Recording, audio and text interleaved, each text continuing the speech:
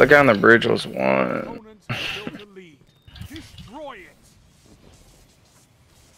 Use your storm caller, you bot, and he you let him reset it. Good job. Coming with you to be. Do what you have to do.